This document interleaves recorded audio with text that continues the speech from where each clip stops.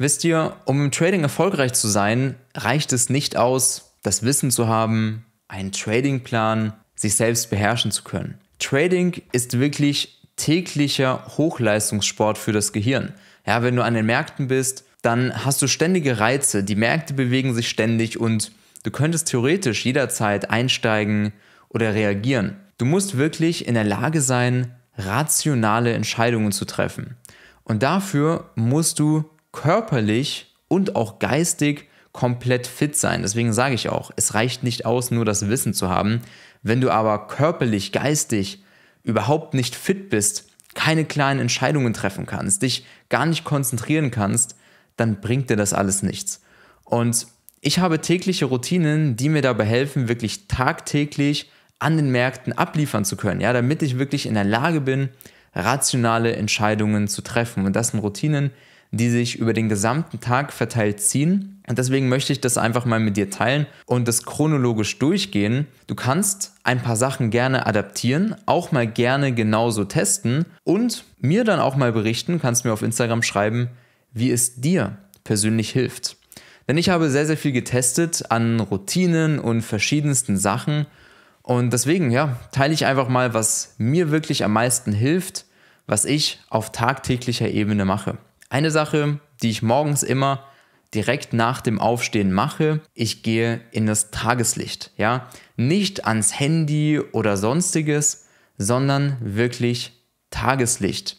Denn wenn du schläfst, dann baut der Körper ein Müdigkeitshormon auf, und zwar Melatonin. Wenn du frühst direkt nach dem Aufstehen ans Tageslicht gehst, ja, durch das Tageslicht wird dieses Melatonin dann abgebaut und dadurch fängt dann auch wieder an, der Stoffwechsel zu laufen und du bekommst die Energie, du signalisierst deinem Körper quasi, dass tagsüber ist und dann fährt er das Energielevel hoch und baut das Melatonin ab. Wenn du frühst direkt ans Handy gehst, Blaulicht, ja, das ist das Schlimmste, was du machen kannst. Im, Im, schlimmsten Fall liest du dir dann noch irgendwelche komischen Nachrichten durch. Ich bin die ganze Zeit im Flugmodus, ja. Nachts kann mich niemand wecken. Also mich kann nachts keiner anrufen oder sonstiges. Mein Handy ist wirklich im Flugmodus, damit ich durchschlafe und auch wirklich, also Schlaf natürlich, das weiß jeder, ist enorm wichtig, wenn du nur ein paar Stunden schläfst, ja, oder zwischenzeitlich immer geweckt wirst, wenn Nachrichten reinkommen oder sonstiges, dann merkt man das ja oft am nächsten Tag, dass du nicht so klar denken kannst und nicht so gut funktionierst. Deswegen Handy im Flugmodus nachts,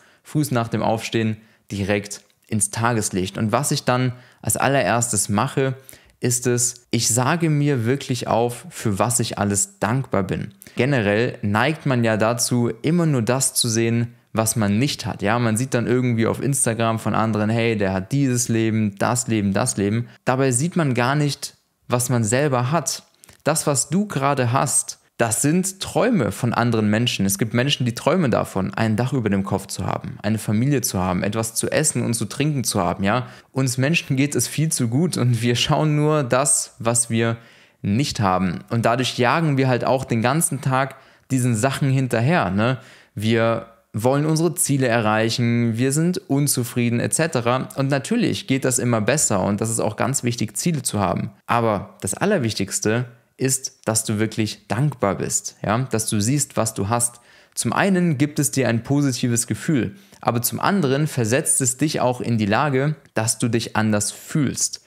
Wenn du nämlich die ganze Zeit in diesem Mangelzustand bist, ein Ziel nach dem anderen hinterherjagst, so extrem unzufrieden mit deinem Leben bist und gar keinen Bock mehr hast und schnell mit dem Trading Geld verdienen willst, um dein Leben zu verändern und letzten Endes, ja, im Trading kannst du schnell dein Leben verändern, weil es ist so greifbar. Und deswegen wollen es dann auch die Menschen und jagen dann an den Märkten die ganze Zeit den Sachen hinterher. Sie sehen irgendeine Bewegung an den Märkten und denken sich, hm, wenn ich die mitnehme, dann kann ich ja mein Fremdkapitalkonto bestehen, dann habe ich schnell eine Auszahlung, dann kann ich schnell meinen Job kündigen etc. Wenn du aber wirklich lernst, mit deiner aktuellen Situation zufrieden zu sein, in der du dich befindest und happy zu sein, glücklich, dass du daran wachsen kannst, dann triffst du auch nicht diese Mangelentscheidungen.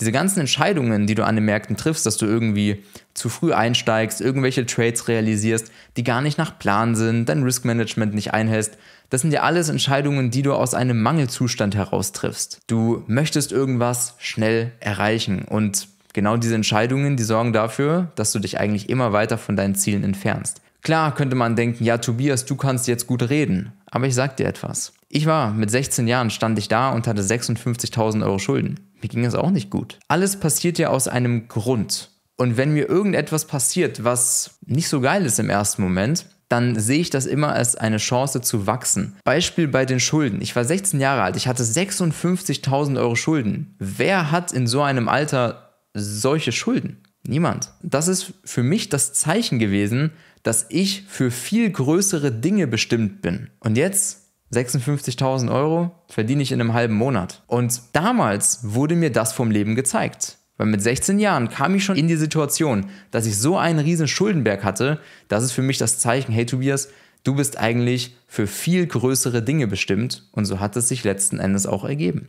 Deswegen bin ich immer dankbar für alles, was kommt und sehe das Ganze immer als eine Chance zu wachsen.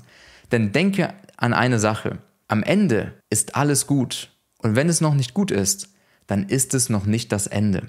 Dementsprechend wir kommen nur in Situationen rein, aus denen wir wieder rauskommen. Keiner ist an irgendetwas zerbrochen. Denk mal an die Vergangenheit. Alles, was dir bisher passiert ist, da kamst du raus, daran bist du gewachsen, dadurch bist du besser geworden. Und so ist es hier genauso. Deswegen bin ich immer dankbar für alles. Ich sehe immer das, was ich habe und bin dafür dankbar. Für die einfachen Dinge. Ein Dach über dem Kopf, etwas zu essen und zu trinken, etc. Damit du auch ein gutes Gefühl bekommst. Und dann bin ich aber auch dankbar für meine Ziele. Und zwar die Ziele, die ich habe, beziehungsweise auch damals, hatte ich natürlich auch das Ziel, in finanzieller Freiheit zu leben, hauptberuflich zu traden.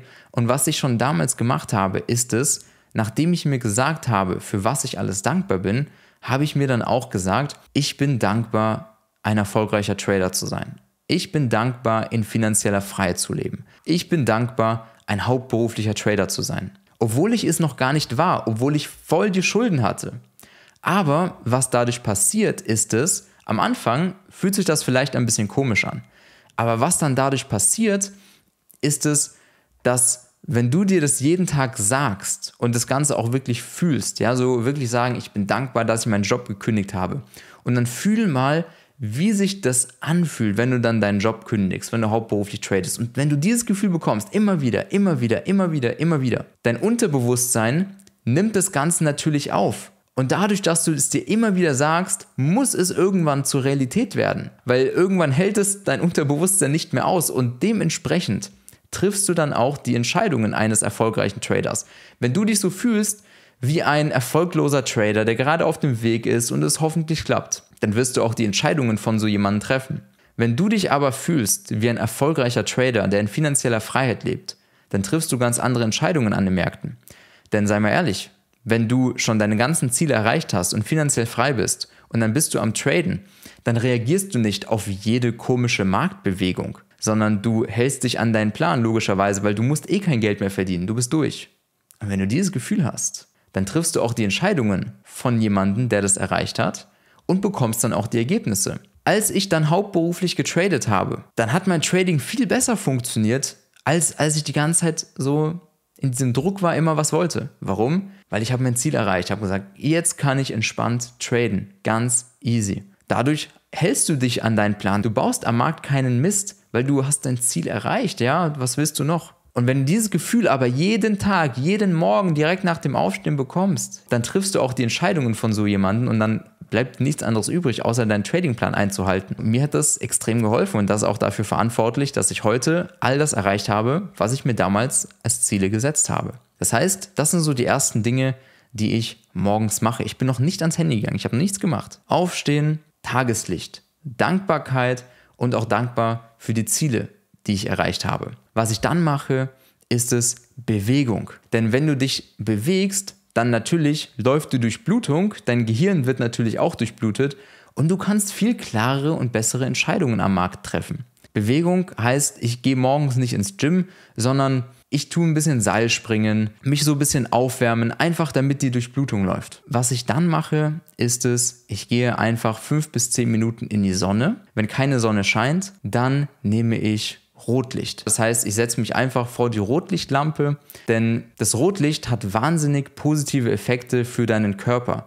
Organe funktionieren dadurch besser, die Hormone laufen dadurch besser und dieses Rotlicht hat all diese positiven Effekte vom Sonnenlicht, nur dass es nicht diese schädlichen Faktoren drin hat. Ja, wenn ich in die Sonne gehe, dann ja, fünf bis zehn Minuten. Dadurch wirst du wirklich wach, dein Körper funktioniert einfach viel, viel besser und du hast einen viel besseren Fokus und bist wirklich klar an den Märkten. Marktanalyse ist gemacht, ich weiß genau, wo ich traden will, welche Setups ich an den Märkten wo sehen will. Ja, ich zeichne mir dann immer ein, okay, hier möchte ich das traden, da möchte ich das traden. Erst dann wird mein Handy eingeschaltet. Bin morgens nicht am Handy, nicht auf Instagram, WhatsApp, was auch immer. Überhaupt nicht. Sondern erst nachdem alles durch ist, dann gehe ich ans Handy, beziehungsweise dann mache ich es einfach an. Ich gehe dann nicht auf Instagram oder sonstiges, sondern dann warte ich halt einfach auf meine Trades. Dann habe ich dann so meine erste Trading-Session. Was ich auch wirklich jeden Tag mache unter der Woche, ist es zu trainieren. Entweder Boxen oder Krafttraining. Das ist für mich ganz, ganz wichtig, denn natürlich im Trading allgemein, damit dein Körper funktioniert, brauchst du Bewegung, brauchst du Sport. Probier das mal aus, dass du eine Woche lang nicht trainierst, nichts machst. Du fühlst dich einfach schlecht, du fühlst dich, dass du nicht wirklich was machen kannst. Ja, Bewegung ist unglaublich wichtig, weil dadurch läuft die Durchblutung im Körper, dein Gehirn wird durchblutet, du triffst klare Entscheidungen, Energie wird wirklich freigesetzt und kommt dadurch doppelt zurück. Wenn du müde bist, geh mal ins Gym und trainier mal richtig. Danach bist du fit, danach bist du wach. Und deswegen ist es unglaublich wichtig, zu trainieren, deinen Körper fit zu halten, Sport zu machen, irgendein Ausdauersport, was dir, was du möchtest, was dir Spaß macht. Also zum einen hat das unglaublich positive Effekte für den Körper, zum anderen natürlich bekommst du durch das Training Dopamine, also Glücksgefühle und brauchst sie dadurch nicht mehr von den Märkten, ja? Glücksgefühle im Körper werden freigesetzt durch einen positiven Trade. Vielleicht kennst du das. Du machst einen guten Trade, der geht in TP und das fühlt sich gut an. Ja, du denkst, hey, ich bin jetzt weitergekommen auf meiner Karriere, so, ich bin jetzt näher an der Auszahlung etc. Und das fühlt sich einfach gut an. Und diese Glücksgefühle, das Problem bei diesen Glücksgefühlen, das sind Dopamine, ist es, der Körper wird süchtig nach diesen Glücksgefühlen. Wenn du einmal, zweimal einen positiven Trade gemacht hast, dein Unterbewusstsein speichert es sich und jedes Mal, wenn du irgendwelche Kerzen oder Märkte siehst, dann assoziiert dein Unterbewusstsein diese Dopamine, also die Glücksgefühle, mit dem Trading, weil du schon mal diese Glücksgefühle vom Trading bekommen hast. Und deswegen wollen wir auch keine Verluste akzeptieren. Ne? Vielleicht kennst du es. Also ich bin mir sicher, du kennst es. Man macht ein, zwei, drei Verluste und man kann sie nicht akzeptieren. Man möchte es nicht. Man möchte mit einem guten Gefühl da rausgehen nach dem Trading, nach der Session. Ein gutes Gefühl dabei haben. Das sind die Dopamine, die du brauchst. Das Problem ist, Du wirst im Trading die Dopamine nicht jeden Tag bekommen, weil du nicht jeden Tag Geld verdienen wirst. Du wirst Tage haben, da wirst du Geld verlieren. Du wirst Tage haben, diesen Break-Even. Du wirst Gewinntage haben, du wirst Verlustwochen haben. Verlustwochen. Break-Even Wochen, ja? So, für die meisten Menschen unvorstellbar, aber das ist die Realität im Trading. Wie schaffst du es also, dass du nicht von diesen Glücksgefühlen im Trading abhängig wirst? Ganz einfach. Und zwar an jedem Tag, an dem du einen Verlust hattest, mit Minus abschließt, dann holst du dir die Glücksgefühle über irgendetwas anderes. Und diese Glücksgefühle bekommt man natürlich durch Sport, die hast du sowieso. Und wenn du jeden Tag unter der Woche, jeden Trading-Tag Sport machst und im Sport schon diese Glücksgefühle bekommst, dann wirst du an den Märkten viel weniger Verlangen nach diesen Glücksgefühlen haben, weil du sie im Sport bekommen hast. Und zusätzlich an einem Verlusttag dann kannst du dich, ich mache das mittlerweile nicht mehr, weil mich interessieren Verluste nicht, aber am Anfang, an jedem Verlusttag, den ich hatte, wo ich nicht diese Glücksgefühle bekommen habe, dann habe ich mir die Glücksgefühle durch etwas anderes gegeben. Ich habe mich belohnt dafür, dass ich mich an meinen Plan gehalten habe. Was habe ich gemacht? Mein Lieblingsgericht gegessen zum Beispiel. Irgendetwas gemacht, was mir ein gutes Gefühl gibt. Das kann zum Beispiel auch am Wochenende sein, dass du dir irgendetwas kaufst. Und das wäre zum Beispiel auch mal eine coole Sache. Wünsch dir mal irgendetwas, ja, stell dir vor, du, du willst irgendetwas haben und du sagst dir, hey, nur wenn ich mich eine Woche lang von Montag bis Freitag an meinen Tradingplan gehalten habe, komplett an den Plan gehalten habe, eine Woche lang, und dabei wirklich keinen Mist gebaut habe. Ich habe mich an mein Risk Management, an meine Setups und an alles habe ich mich gehalten. Dann darf ich mich am Wochenende belohnen und kaufe mir dann irgendeine Sache. Zum Beispiel stell dir vor, du willst irgendein Parfüm haben, was du gut findest. Anstatt es dir direkt zu kaufen, machst du folgendes. Du sagst, okay, wenn ich mich jetzt eine Woche lang an meinen Tradingplan gehalten habe, egal wie die Woche abgeschlossen hat, dann belohne ich mich dafür. Automatisch wirst du dich viel leichter an deinen Plan halten können. Weil dieses Kaufen von einer Sache gibt dir auch Dopamine und Glücksgefühle. Verstehst du? Du leitest diese Glücksgefühle um. Du holst sie dir von anderen Sachen, brauchst sie dadurch nicht mehr im Trading und hast dadurch nicht mehr das Verlangen, dich unbedingt ums Verrecken an deinen Plan halten zu müssen. Das mache ich mittags. Nachmittags ist es bei uns meistens so, also wir sind eigentlich so die ganze Zeit am Reisen. Ja, wir waren dieses Jahr in Bali, wir waren in Vietnam, auf den Seychellen, wir waren in Istanbul, wir waren in Barcelona, wir waren in Singapur und was weiß ich wo. Und da habe ich immer eine Trading Session am Tag und die andere freie Trading Session, da sind wir dann irgendwo unterwegs, dann sind wir was essen, ja, schauen uns irgendwo die Stadt an, wo wir gerade sind, etc., am Pool, Strand, was auch immer. Also ich persönlich trade tatsächlich nur eine Session am Tag. Nur wenn mir mal langweilig ist, dann trade ich noch eine zweite. Aber zwei, drei Stunden am Tag, die reichen vollkommen aus, egal wann, weil es geht nicht darum, je mehr du tradest, desto erfolgreicher wirst du. Das stimmt nicht. Und ich mache das Ganze wirklich sehr, sehr lifestyle-bezogen. Also ich muss nicht jeden Tag traden, beziehungsweise nicht jede Session traden. Also auch so News-Tage, wo irgendwelche wichtigen Wirtschaftsnews kommen. Das sind diese vier wichtigen News, auf die der ganze Markt eigentlich wartet. Das sind die Non-Farm Payrolls, also Arbeitslosenquote. Das ist Bruttoinlandsprodukt, das ist der CPI, also Consumer Price Index. Und das sind die ganzen Statements, die von der Federal Reserve kommen, also Zinsentscheidungen etc. Das sind diese vier Tage. Wenn an einem Tag so eine News kommt, dann trade ich nicht, weil die Märkte, die laufen einfach irrational und ich sage dir ganz ehrlich, ich muss es mir nicht antun. Und genau in diesem Zustand Ne? Man könnte denken, ja, der Tobias, der kann es jetzt machen, dem geht es ja schon gut, etc. Aber das habe ich schon immer so gemacht. Ich habe mich schon immer so verhalten, schon immer so getradet, wie als wäre ich hauptberuflich, wie als hätte ich schon meine Ziele erreicht. Zum ersten Punkt zurückzukommen. Dadurch fühlst du dich einfach anders und triffst andere Entscheidungen. Du hast nicht mehr dieses Verlangen danach, immer zu traden. Und genau in diesem Zustand erreichst du dann auch deine Ziele. So. Das heißt, die andere Trading-Session sind wir dann unterwegs und abends, was ich dann natürlich immer jeden Tag mache, ist es dann ein Trading Review, wo ich mir dann meine gesamten Trades anschaue, was habe ich an den Märkten gemacht, um daraus dann auch zu lernen. Ne?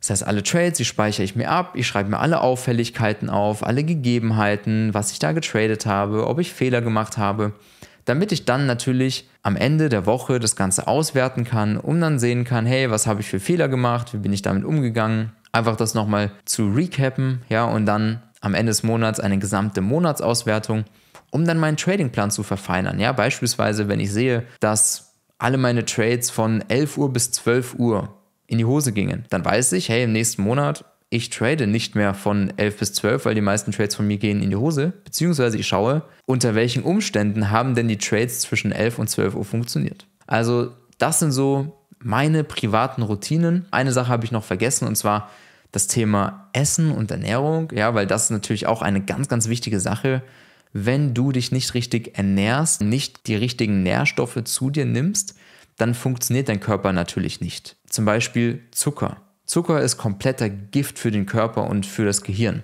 Also es gibt unzählige Studien, die nachweisen, dass durch Zucker diese ganzen gängigen Krankheiten kommen weil dein Körper dadurch einfach nicht mehr richtig funktioniert. Das heißt, ich verzichte komplett auf Zucker, ich brauche keinen Zucker und das ganze Zeug. Vielleicht einmal im Monat oder alle zwei Monate, vielleicht mal irgendein Dessert, ja, aber ansonsten überhaupt nicht. Kein Zucker, weil das ist Gift für das Gehirn. Dann ernähre ich mich zum Beispiel komplett unverarbeitet. Ja, ich esse überhaupt keine verarbeiteten Produkte wie zum Beispiel Brot, Gluten, Weizen und so Zeug. Warum?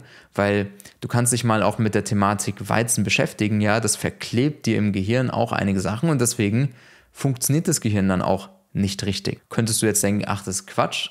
Aber ich sag dir, beschäftige dich mal damit, liest dir mal ein paar Studien durch. Ich weiß, es ist natürlich jetzt nicht so ein gängiges Thema und es ist ein Thema, womit sich die wenigsten Leute gerne beschäftigen. Ernährung, weil die meisten denken, ja, ich ernähre mich ja schon gesund etc.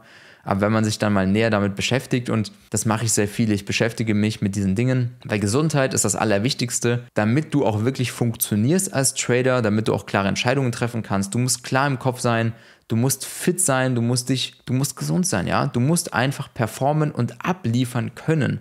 Weil wenn du das nicht tust, wenn du nicht klar im Kopf bist, wenn du dich nicht konzentrieren kannst, ja, weil du die falschen Nährstoffe zu dir nimmst, die falschen Dinge zu dir nimmst, lass mal wirklich alle verarbeiteten Dinge raus, wie Nudeln, Brot, was weiß ich, alles, was verarbeitet ist. Und du wirst sehen, dass du dich viel, viel besser fühlen wirst, ein ganz anderes Energielevel hast, dadurch an den Märkten auch viel besser performst und dann dadurch auch viel bessere Trades machst. Also das wollte ich noch zu diesem Thema sagen und das sind so meine privaten Routinen. Du kannst gerne mal alles davon probieren oder vereinzelte Dinge. Das sind die Sachen, die mir wirklich komplett helfen. Also, so viel zu der Thematik. Ich hoffe, dass du daraus etwas lernen konntest. Schreib mir dann, wie gesagt, auch gerne mal auf Instagram, wenn du ein paar Dinge davon implementiert hast, wie sie dir im Trading helfen. Also, in diesem Sinne, ich hoffe, dir hat es gefallen und wir hören und sehen uns.